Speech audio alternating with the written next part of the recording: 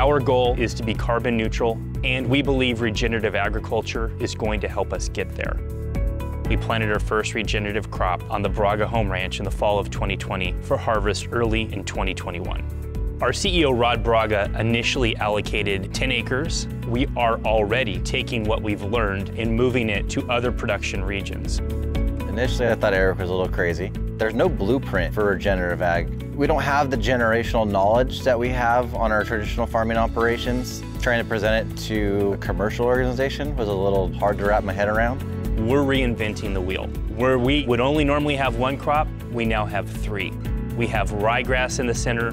We have a clover, which we're going to choose a variety that attracts beneficial insects. It will fix nitrogen from the atmosphere for the next planting that comes behind it because we know that the more species of plants that you have growing in a field, the more that you can foster soil biology diversity. We're going to figure that out, and we hope to be able to see some numbers that we can demonstrate that these practices are effective. One of the technologies that we're currently evaluating is an in-field CO2 sensor. Soil temperature, air temperature, humidity, dew point, pressure sensor that tells us when we're irrigating and how long we're irrigating for.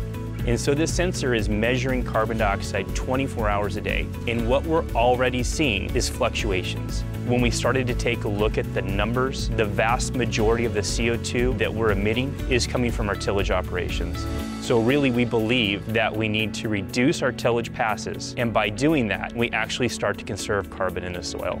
We've had to modify our equipment to adapt to the different types of production practices that we're doing with the regen. In our trials, we're only going four to five inches deep on any tillage practice that we're doing. We're trying to only work the top few inches of soil to not open up anything below that. We are able to get our tillage work done in three to four passes, unlike the traditional tillage of 18 to 20 passes.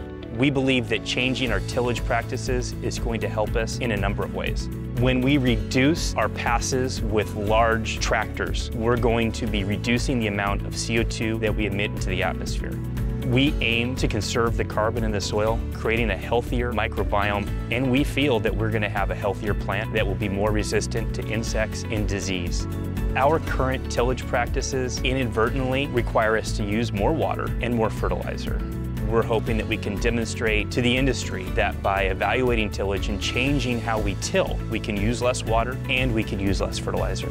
The more we learn, the more we're changing things. We're trying to adapt what we have for our new practice. It does make me excited for the future. It's been fun trying to learn how to make this work. Our goal at Braga Fresh is to set the example for the rest of the industry. We find that all of the effort, time, and expense that we put into our regenerative organic trials, we do it because it's the right thing to do.